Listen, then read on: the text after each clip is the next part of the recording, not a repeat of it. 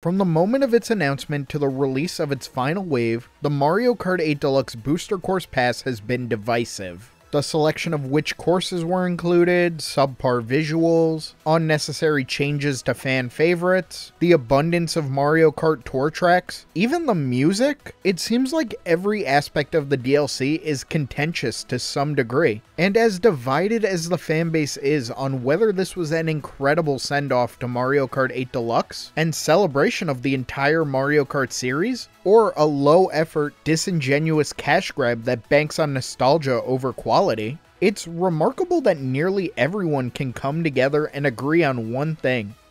Everyone hates Toad Circuit.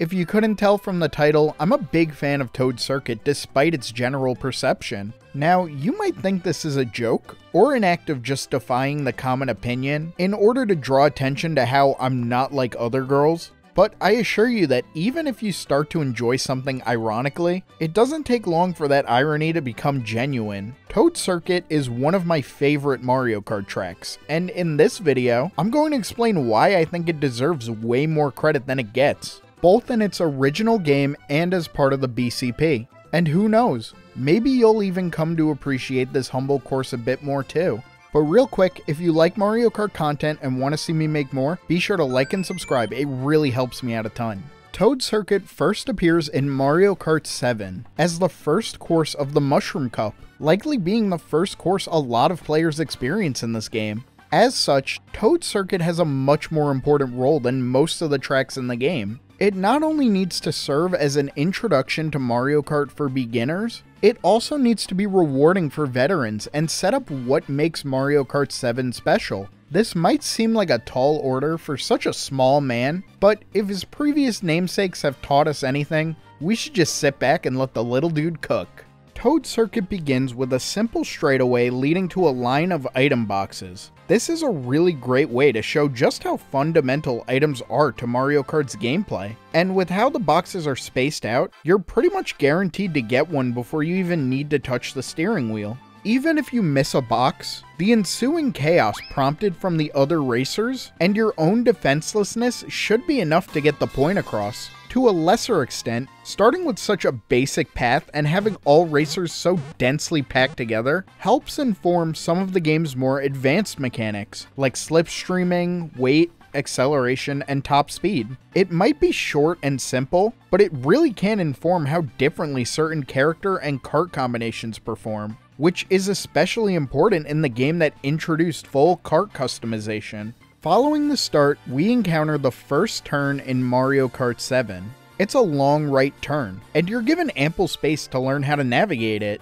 For the total newbies, you could take a wide turn along the outside without worrying about off-roading, though you'll definitely notice this is far from the optimal way to take this turn, especially with the coins guiding you towards the tighter end. On the next lap, you might try drifting, which can be tricky at first, but the track width makes it super forgiving to practice and learn. Of course, the more experienced drift master can easily cling to the inside for a long, satisfying drift that'll launch them well ahead of the competition.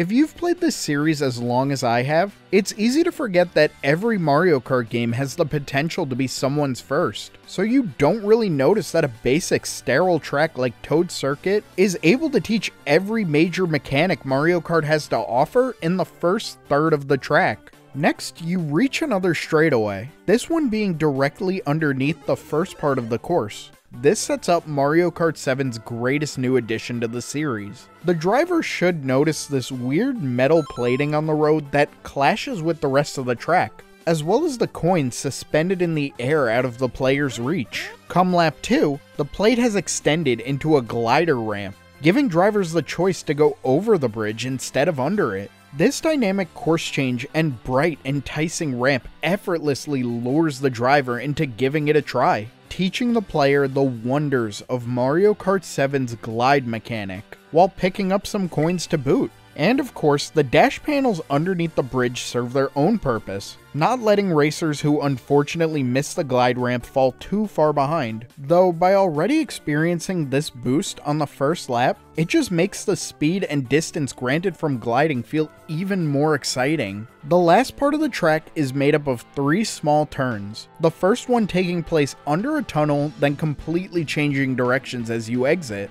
which teaches the importance of being prepared for sudden changes by checking the minimap.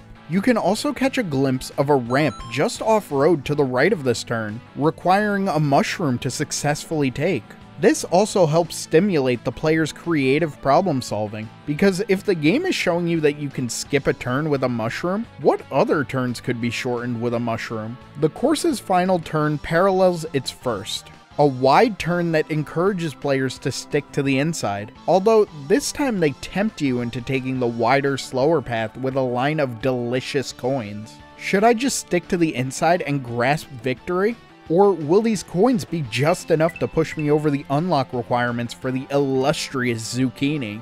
These split second decisions are what makes Mario Kart so fiercely competitive, so it's great to see that reflected in Mario Kart 7's very first track. Toad Circuit is one of, if not the best introductory course in the Mario Kart series. It teaches the player everything they need to know on how to succeed in a race, down from the very basics to the more nuanced tricks to the new techniques that make Mario Kart 7. On the surface, Toad Circuit is a cute, simple track with a lovely understated Mushroom Kingdom aesthetic and cool giant toad balloons. Toad Circuit may just be the first track of Mario Kart 7, but that's an honor it holds with utter perfection. What it lacks in spectacle, it makes up for in efficiency. Toad Circuit is a fantastic course. At least, in its debut game. Toad Circuit made a reappearance in Mario Kart 8 Deluxe as part of Wave 1 of the Booster Course Pass, and nobody liked that.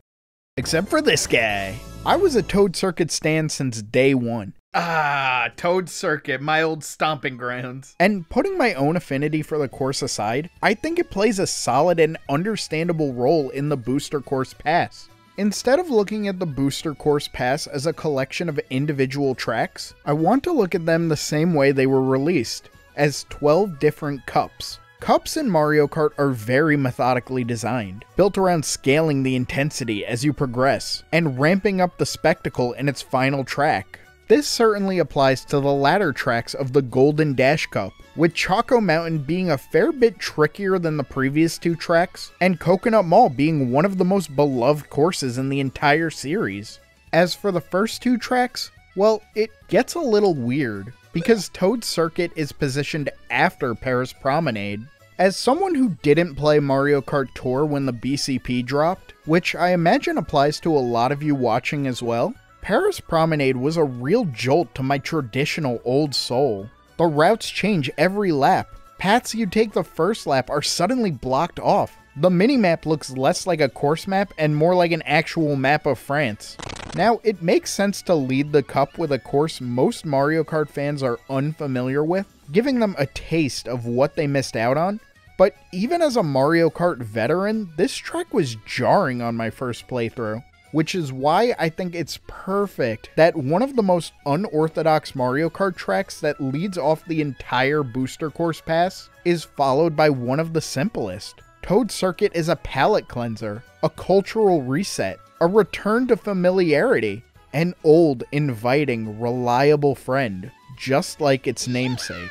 For that reason, I think Toad Circuit's inclusion is not only justified, but it fills a really nice role in the Booster Course Pass that very few other courses could fill, and even fewer could perform as well as Toad Circuit. It's understandable why so many people dislike or simply didn't care about Toad Circuit until it allegedly stole the spotlight from other more deserving tracks. And with that said, I hope I was able to explain why Toad Circuit is a perfect starting course in Mario Kart 7, and a great addition to usher in the Booster Course Pass. And hey, whether or not I was able to change your mind, I really appreciate you hearing me out and watching until the end. Let me know what you think in the comments below, and if you want me to cover any other Mario Kart games. Thank you so much for watching, and I'll see you in the next video.